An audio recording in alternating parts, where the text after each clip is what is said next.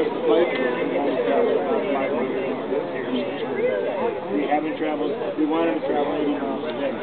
And we just haven't been able to. The rain stopped us. Right.